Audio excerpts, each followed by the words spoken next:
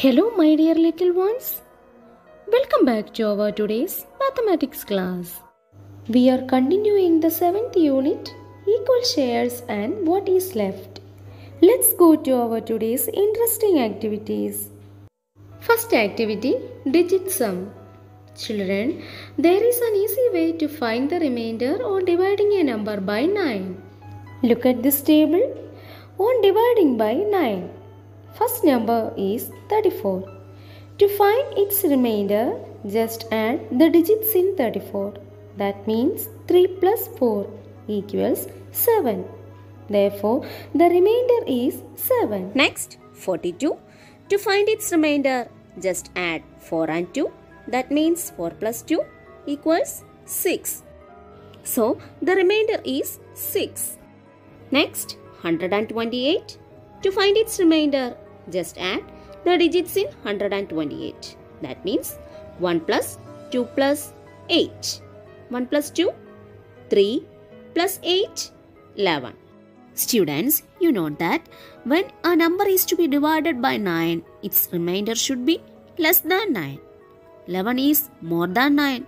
So, again we have to add the digits in 11. That means 1 plus 1 equals 2.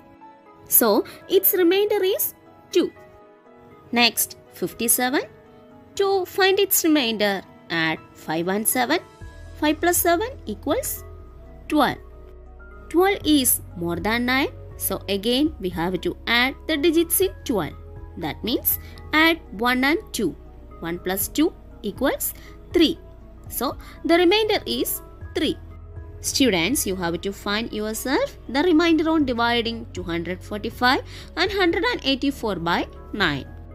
And also find out the quotient on dividing these numbers by 9 using division method.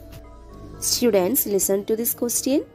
Which are the numbers between 10 and 20 which don't leave a remainder on dividing by 6?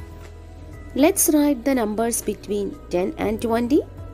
11, 12, 13, 14, 15, 16, 17, 18 and 19. Among these numbers, find the multiples of 6. That means, among these numbers, which are the numbers come in the multiplication table of 6? Which are they? Yes, 12 and 18. These numbers can be divided by 6 without any remainder. Next activity Saying without doing. Simi divided a number by 2 and got 100 as answer. What would be the quotient on division by 4? Simi divided a number by 2 and got 100 as answer. The number is not given, so we can write that the number divided by 2 equals 100.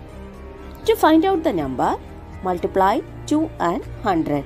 2 into 100 is equal to 200. The question is, what would be the quotient on division by 4? To find out this, let's divide 200 by 4. Take the first digit 2. 2 is less than 4. So take the next digit also. We will get the number 20. Then let's find how many times 4 is multiplied to get 20. Yes, 5 times. Then let's do 20 minus 20. 0. Bring down this 0 here. How many times is it possible? Yes, 0 time. We get the quotient as 50. That is 200 divided by 4 equals 50. Children, did you understand today's activities? Okay, fine. You have to practice all these activities very well. Today's class is over. See you in the next class. Thank you.